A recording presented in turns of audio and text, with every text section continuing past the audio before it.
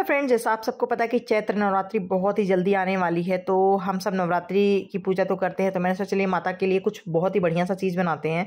तो दिवाली में आप सब देखते होंगे कि हम लोगों को स्वीट बॉक्स मिलते हैं, ड्राई फ्रूट्स वाले बॉक्स जो मिलते हैं, और गिफ्ट में बहुत सारे मिलते हैं तो उसमें जो हम लोग को पेपर्स वगैरह मिलते हैं, उसको हम फेंक देते हैं। तो आज मैं उसी से DIY करने वाले तो वीडियो को एंड तक ज़रूर देखिएगा, जिससे आपको समझ में आया कि हम उस वेस्ट से पेपर को फेंकने के बजाय इतना सुंदर सा चीज़ बना सकते हैं।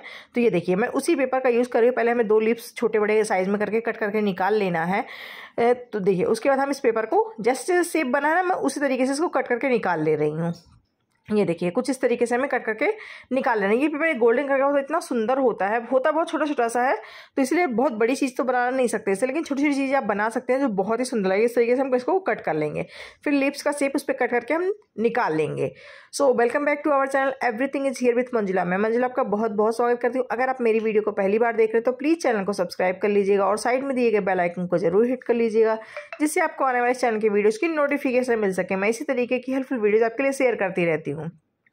आपको मेरे चैनल पे ना वेस्ट मटेरियल से ही डी मैक्सिमम आपको मिलेंगे। देखिए तो इस तरीके से हम इसको बीच से कट कर लेंगे और ग्लू से चिपका देंगे। उसके बाद मैंने एक छोटा सा कार्डबोर्ड का सर्कल कट किया। उसके ऊपर मैं मैं, देखिए ब्राउन कलर का फॉर्म सीट लगा रही हूँ।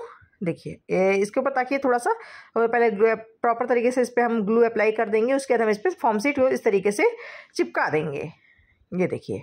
उसके बाद इसके साइडों में मैं वही पेपर का यूज़ कर रही हूँ, गोल्डन वाले, जो हम लिप्स के लिए यूज़ कर रहे हैं। ये देखिए, सेम पेपर को हम यहाँ पे इस तरीके से चिपका देंगे, जिससे कि जो हमारा कार्डबोर्ड है, वो हाइड हो जाए। देखिए, थोड़ा छोटा हो गया था तो हम इसको इस तरीके से कट करके लगा देंगे तो बहुत ही अच्छे से हमारा ये डी बनेगा और बहुत ही सुंदर सा डी बनेगा। आपको लास्ट में पता चलेगा, इसका यूज़ क्या क्या कर सकते हैं आप। इसको हम दो तरीके से यूज़ कर सकते हैं। देखिए, इस तरीके से हम इसको कवर कर देंगे। अगर आपको वीडियो ज़रा से भी पसंद आए तो आप कमेंट में जय माता दी लिखना नहीं भूलिएगा। अगर आपको वीडियो अच्छी लगती है तो ही जय माता दी लिखिएगा। जय माता दी ज़रूर लिखिएगा। अगर आपको वीडियो पसंद है बिना बिना जय माता दी लिखे मत जाइएगा।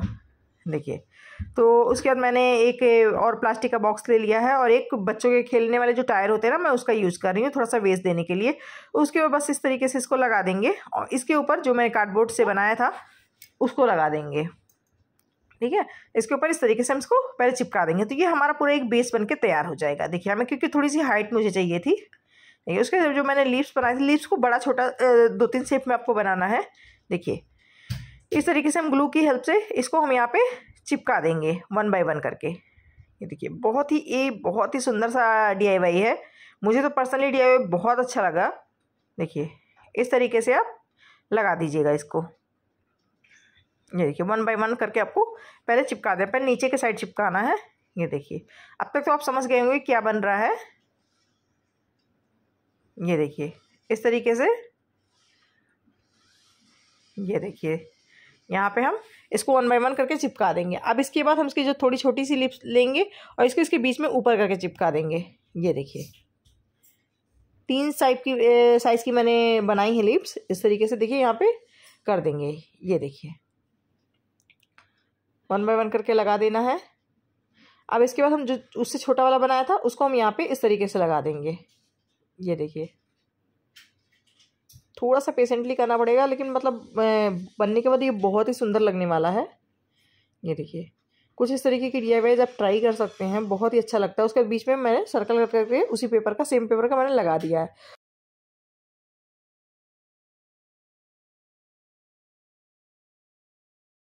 उसके बाद मैं इसके साइडों में जो है इसको मैं छोटे छोटे मिरर्स यहाँ पे लगा रही हूँ। ये देखिए आप चाहें तो इसको एज इट इज़ भी छोड़ सकते हैं। ऐसे भी बहुत अच्छा लगेगा लेकिन मैं थोड़ा सा इसको और डेकोरेट कर रही हूँ। इस तरीके से मैं छोटे छोटे मिरर्स यहाँ पे लगा दे रही हूँ।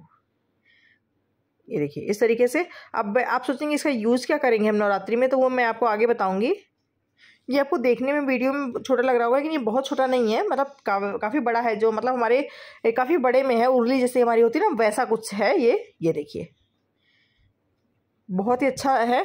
तो इसको आप माता जी के आसन को बिठाने के लिए माता जी अगर आपकी छोटी मूर्ति है तो आप इस पर बिठा के माता जी की पूजा कर सकते हैं या इसको एज ए कैंडल होल्डर भी यूज़ कर सकते हैं या इस पर दिया जला सकते हैं।